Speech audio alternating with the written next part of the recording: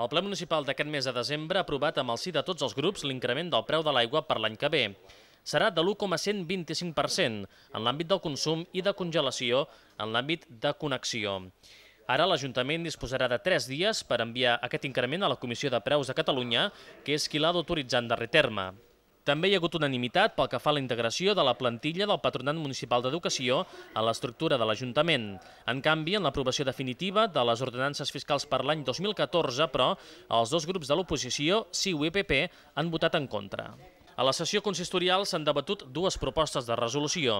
D'una banda, Convergència i Unió ha demanat canviar els criteris d'il·luminació del Parc de Vallparadís per qüestions de seguretat. Finalment, la proposta ha tirat endavant, ja que la formació nacionalista ha acordat amb l'equip de govern la revisió de certes zones del parc considerades poc il·luminades i la realització d'una auditoria per millorar-ne l'eficiència energètica. El PP hi ha votat també a favor. D'altra banda, no ha prosperat una proposta del Partit Popular per la creació d'un Consell Municipal de la Família i elaborar un pla municipal de recolzament com a estratègia integral d'ajut. Només Convergència i Unió hi ha votat a favor. També han arribat al ple dues propostes d'acord de Junta de l'equip de govern. Una d'elles és per recolzar el Col·legi d'Advocats de Terrassa i defensar la institució davant la possible supressió que es contempla a l'avantprojecte de llei que està elaborant el govern central. L'altra reclama el retorn dels documents municipals de l'Arxiu de Salamanca.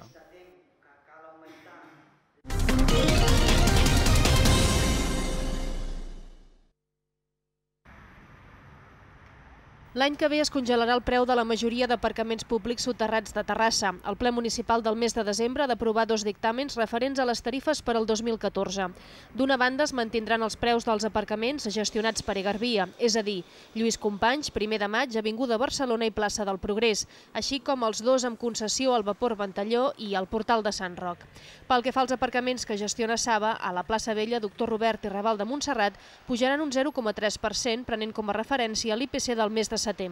Els IPCs, de, en funció del mes que els agafem d'aquest any, doncs, són negatius o molt petits, doncs, evidentment nosaltres hem optat per la congelació eh, i el, la concessionària que té aquests tres aparcaments, que pot fer aquest petit increment, doncs, penso que és petit, m'hagués agradat que també es congelessin, no? però ells tenen dret i, evidentment, doncs, la concessionària és el que ha de decidir. El conjunt d'aparcaments de la ciutat ha patit una davallada en l'ocupació, sobretot pel que fa als abonaments. Per això, totes les concessionàries treballen actualment en noves fórmules per atraure els vehicles i fer més sostenible la gestió d'aquests equipaments.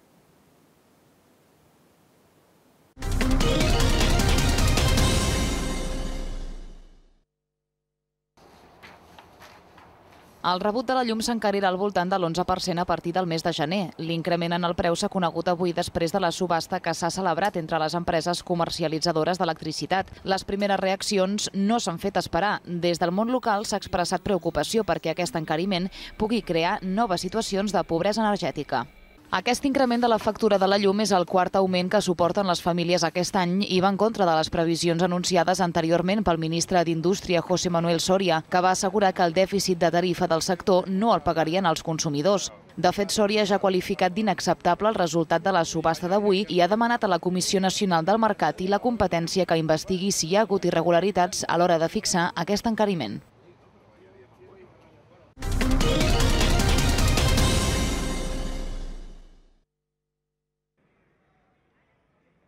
Més de 200 persones convocades per comissions obreres i UGT es manifesten pel centre de Sabadell per denunciar la situació del sector industrial i reclamar la reindustrialització de la comarca. La marxa, que simbòlicament ha sortit de l'antiga ABB Motors, ara Fira de Sabadell, ha recorregut els carrers del centre per acabar davant l'Ajuntament on s'ha llegit un manifest en contra de l'atur i la precarietat laboral. A la protesta hi han participat treballadors d'Alstom i Panrico, totes dues empreses amb expedients de regulació d'ocupació en marxa i conflictes laborals pendents de resoldre.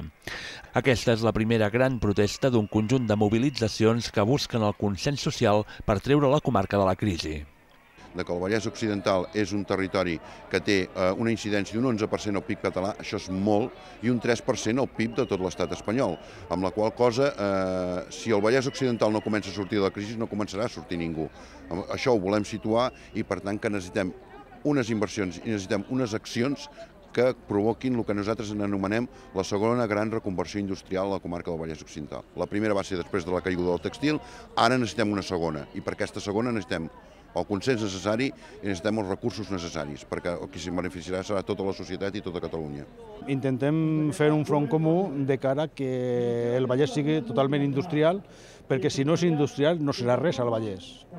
I aquest és el problema que tenim en aquests moments, l'atur, eh, les empreses continuen acomiadant, aquí tenim la prova, que això era una manifestació de delegats de Panrico, eh, Sofgefil, Alstom... Amb crides a la unitat i a la participació i en contra la reforma laboral i els acomiadaments, els sindicats reclamen consens social amb totes les entitats perquè la indústria torni a ser puntera al Vallès Occidental.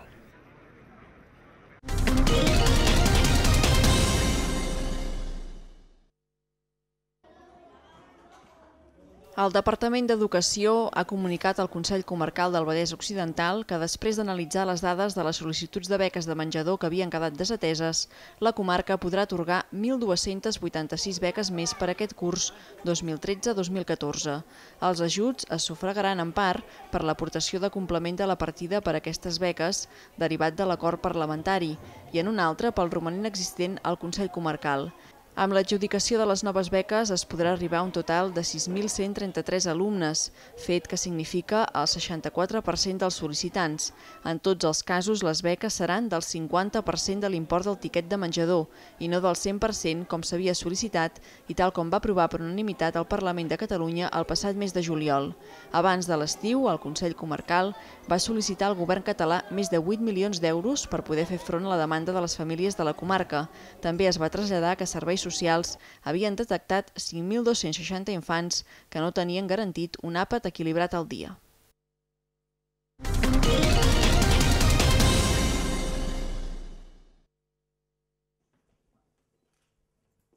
El Premi a la Solidaritat del Gremi de la Construcció del Vallès 2013, dotat amb 3.000 euros, ha estat atorgat a la ONG CERMA, Centro de Rehabilitación de Marginados.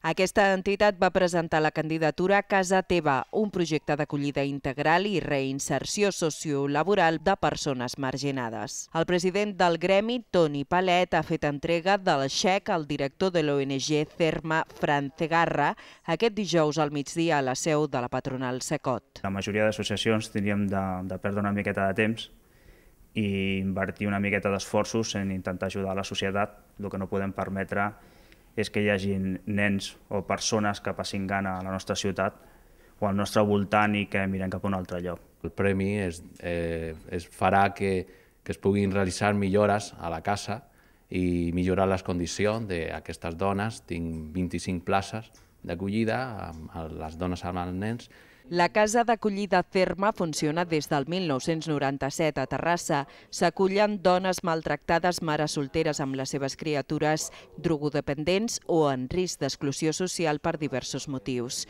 Hi poden estar entre un i dos anys. Després, la Fundació, depenent de la mateixa ONG, s'encarrega d'inserir-les laboralment. Un 20% d'elles, però, per la seva problemàtica, viuen acollides a la llar de forma permanent. CERMA, a través dels seus centres de treball a Sabadell, aconsegueix finançar-se en un 70%. El Gremi ha escollit el seu projecte entre les set candidatures presentades. En els darrers nou anys, els constructors del Vallès han atorgat més de 23.000 euros a projectes socials.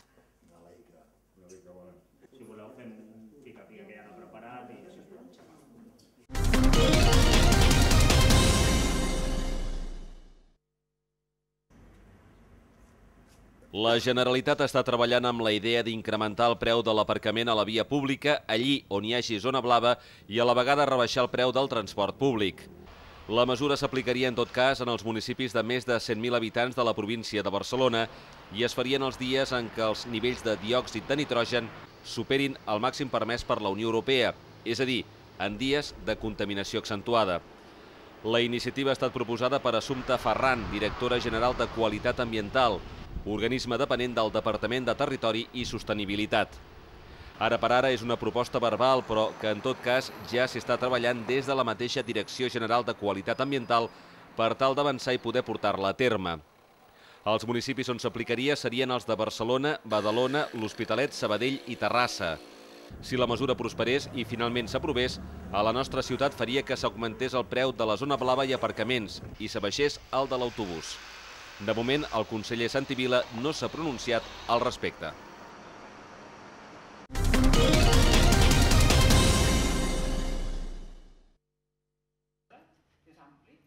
Actes, l'associació d'estudiants sènior de la UPC programa pel 2014 un total de 20 activitats entre conferències, taules rodones, tallers i sortides culturals. La meitat són conferències amb 10 al llarg de l'any de diverses disciplines i a raó d'una al mes. Obriran el cicle el dibuixant Miquel Ferreres amb la xerrada Una vida en tinta xina i la notària Eva Corbal amb reflexions sobre l'ofici.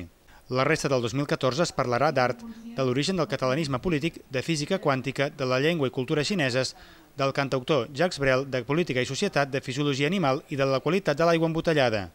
A banda, Actes programarà monogràfics de tres dies sobre el gènere literari del conte, la Catalunya entre 1640 i 1714 i el futur de les energies renovables. També un taller de set sessions sobre fotografia i un sobre el joc i les matemàtiques, a banda d'una taula rodona confrontant els Beatles amb els Rolling Stones. Finalment, tres sortides culturals, els aiguamolls de l'Empordà i el poblat ibèric d'Ullestret, Horta de Sant Joan i la planta de Vichy Catalán a Caldes de Malavella.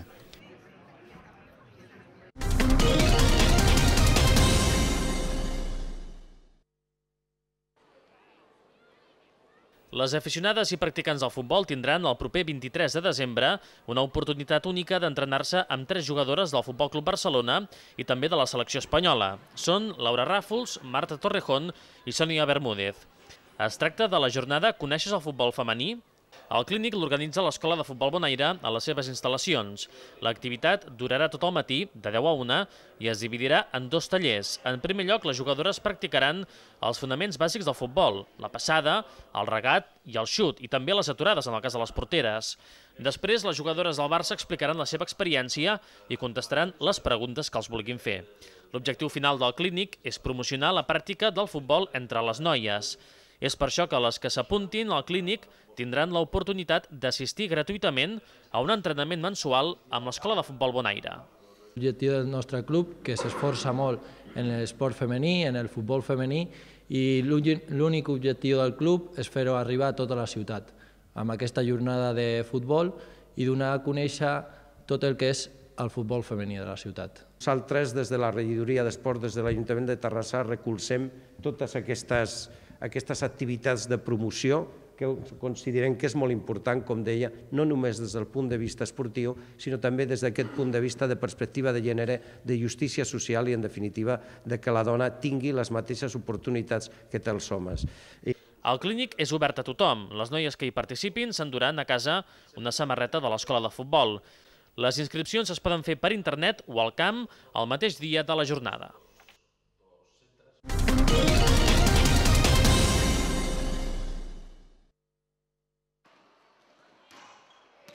El 28 i 29 de desembre, el pavelló del Pla de Bonaire acollirà la 14a edició del torneig de Reis de bàsquet base del Club Natació Terrassa. Es tracta d'un dels certàmens basquetbolístics de referència a Catalunya a nivell formatiu i que plegarà en aquest cap de setmana 450 jugadors d'entre 10 i 15 anys hi participaran 14 categories i el Club Natació Terrassa competirà amb 12 clubs de la comarca amb el debut aquest any del Club de Bàsquet Matà de Pere. En total, 42 partits entre els dos dies que s'allargaran matí i tarda conformaran una nova festa del bàsquet. Els vam explicar que no volíem fer el model de que només vinguessin aquí de Terrassa, sinó que també volíem obrir una mica el Club del Vallès, però que el Club de Terrassa volien que estiguessin representats i en aquest cas el Mata de Pere doncs, també, també ens feia gràcia que, que entrés per primera vegada al torneig. Amb la voluntat d'innovar cada any, el club ha organitzat aquesta vegada un aperitiu del torneig aquest cap de setmana, per tal d'incloure tots els equips de la secció, és a dir, escola, equips, júniors i sèniors, hi haurà una sèrie de partits amistosos. El punt culminant serà el dia 22, a dos quarts de sis de la tarda, quan tindrà lloc la presentació de la secció també al Pla del Bonaire. Porque teníem un problema que al ser amb la quantitat d'equips que tenim i la quantitat d'escola de, que hi ha i de, i de formació, ens, se'ns apretava molt el, el torneig, i llavors, perquè tothom participi, ho hem, hem pensat de fer-ho en dues sessions. A banda de la competició entre els més joves, els dos equips absoluts també prendran part en el torneig de Reis. El Natació Instituts Odontològics jugarà dissabte 28 a la tarda contra el Club de Bàsquet Canet. El masculí ho farà l'endemà davant de la Unió Esportiva Sant Cugat.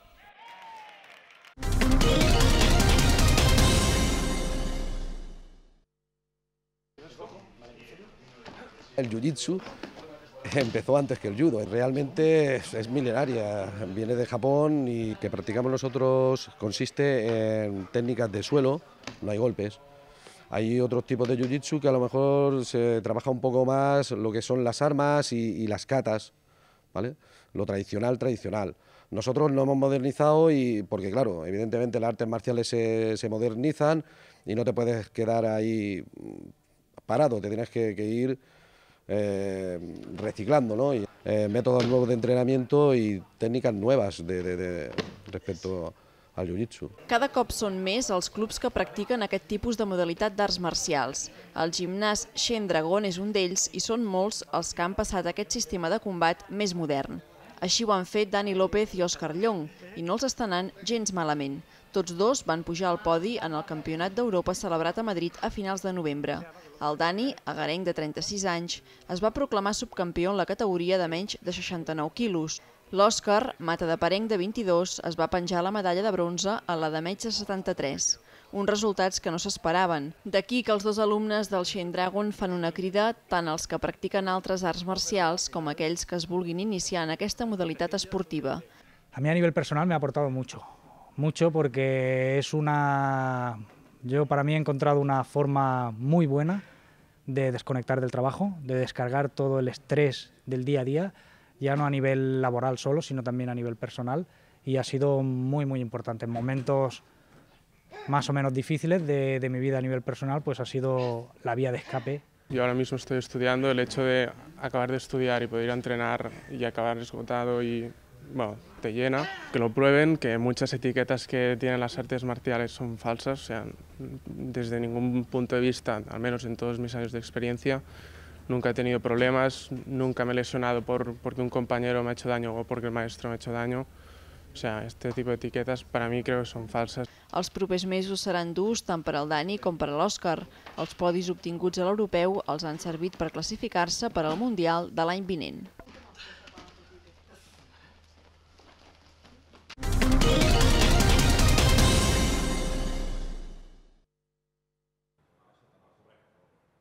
Terrassa acollirà aquest cap de setmana el primer concurs de Nadales destinat per a nens, nenes, nois i noies de 7 a 20 anys. La ubicació triada pel concurs és la plaça Nova i es farà de 5 de la tarda a 9 de la nit tant dissabte com diumenge.